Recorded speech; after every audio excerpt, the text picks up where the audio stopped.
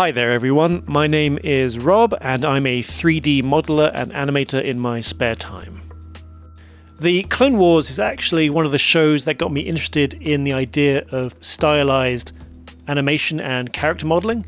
So I thought there'd be no better time to see if I could actually replicate the animation and modeling from the show, and so that is what we're going to be doing in this video. I was watching the clip they posted ahead of the upcoming episode Shattered, and I thought, okay, there's Rex. We get a nice side on view and a nice front on view. So that's what we're going to use for this video.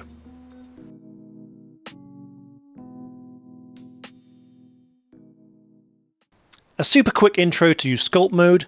If you add a cube and go to the top left drop down, switch to sculpt mode. I'm using dynamic topology, which is where the sculpting responds to the areas in which you're sculpting and it helps keep things very flexible. So if you tick the box, hit OK, and you're good to go. Just remember that the grab brush, which I'll get into in just a second, doesn't add extra vertices, but all the other brushes do, I think. So just bear that in mind.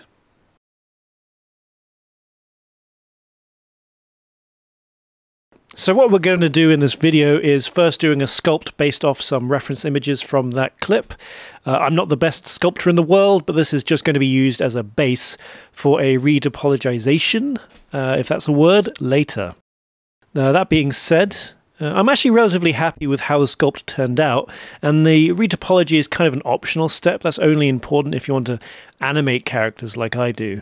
Uh, you could take this uh, sculpt and you could still not do the retopology and just rig it to a, uh, a rig, uh, an armature, and it would still work fine.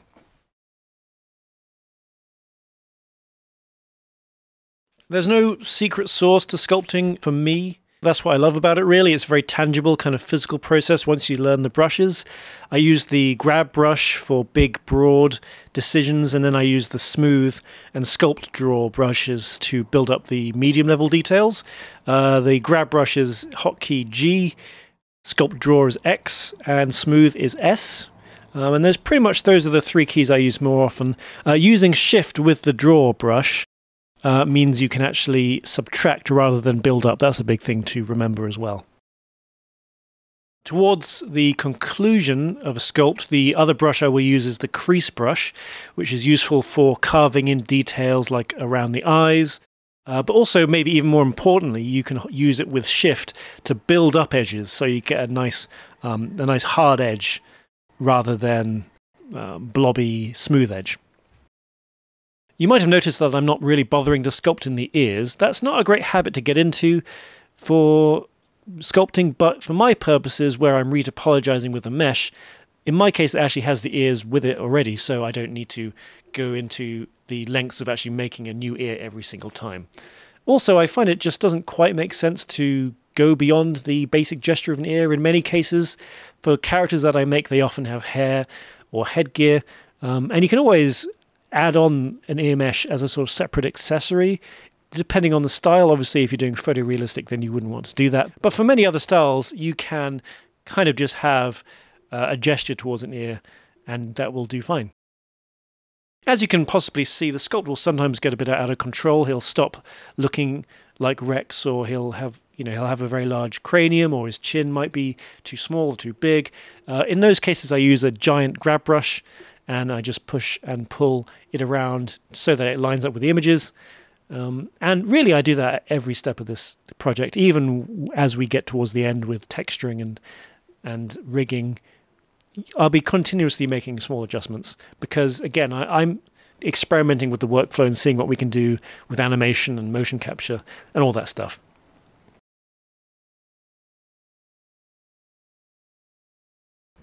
Now at this stage I like to add in the eyes as separate sphere objects that can be mirrored in preparation for animation. Spheres are nice and simple to animate so if you can ensure your character has spherical eyes that's a big bonus.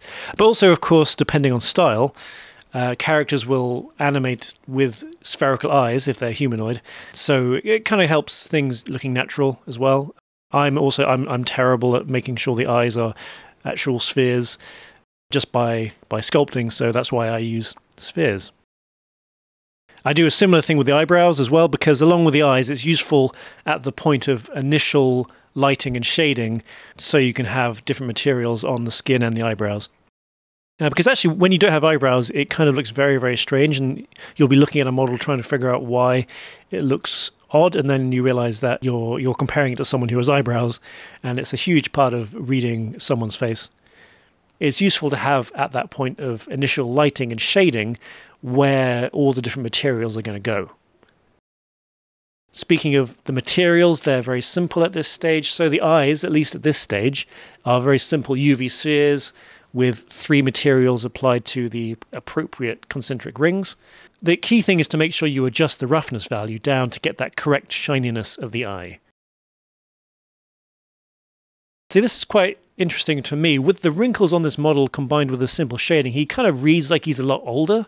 I suspect that's to do with the textures from the show doing a lot of the speaking for the wrinkles and also to do with the shading of the model. What we have here is a shader which is actually using a lot of subsurface scattering, so it looks kind of like real flesh, whereas in the show, obviously, the shaders are not quite that close to reality, I think. But again, that's something I'll have to come back to when I'm doing the texturing. And that about wraps it up for the sculpting. He doesn't look exactly like Rex, but again, that's something which we'll be adjusting continuously through this process. So moving on to retopology.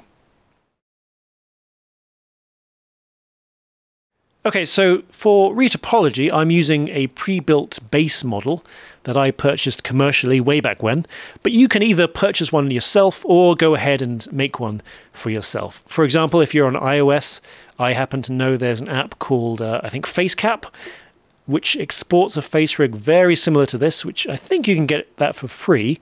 But again, you could always make a mesh yourself. Uh, what this mesh is, is it's a generic human face with a series of blend shapes or shape keys.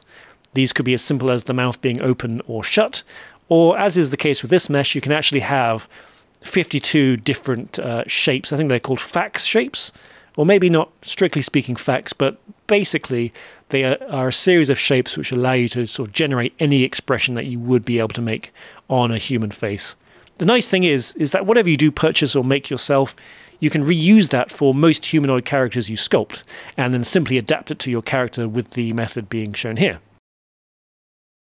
So what am I actually doing here? Well, what I'm doing is taking the base mesh, overlaying it on top of the sculpt of Rex, and then sculpting the base mesh so that it matches the sculpt. Now, this is a very low-tech method. If you were doing this at scale, where you were doing many, many meshes, many different characters a day, I'm sure there are different solutions. But uh, this technique means you have full control over the process and it is very simple to understand and get up and running. It's really not very complicated. I think it took me sort of five or ten minutes, I think. And it, it, it just kind of means you you have full control over where the eyes are, where the mouth is, and the lips. Whereas more automated solutions kind of brute force it sometimes, in my experience. But I can't speak to every solution, obviously. Uh, so there we are we now have a model derived from the sculpt that has solid topology as well as a series of blend shapes. Even without animation, solid topology is of course useful for both texturing, as well as if we were going to bring this model into something like a game engine, which is I think something I will be doing with this. Obviously a lot of the wrinkles are gone, but that's something which can be added in later or even sort of baked down into a normal map. But I'm actually going to leave things there because that detail will, probably be best added as something working in unison with the texture, as I discussed earlier. So we'll maybe have to return to that in the next installment. So yeah, we now have a lot of flexibility with the character's face. We can have them pull all the expressions we need someone to pull in normal dialogue, uh, almost situations, you know, with fear or anger, or what have you. The adaptation into Rex from the base mesh is done on a shape key, that is layered under the other shape keys, forming the expressions. So everything is kind of layered up, relatively speaking, to create the final pose. And I think it works quite well. I'll leave things there for now. I'm working on another video where we actually animate the face manually or with software, as well as combining the shape keys with a rig, and of course a body here for poor old Rex. I might also perhaps take a first look at how we might go around texturing someone in the style of Clone Wars, uh, but that wraps it up. Thanks very much for watching. Do let me know if you have any questions about how to follow up this tutorial, and if you found it useful, do consider liking and subscribing. I'm super keen to keep making videos about modeling and animation, and the support would help me a lot. So thanks again, I'll see you in the next one.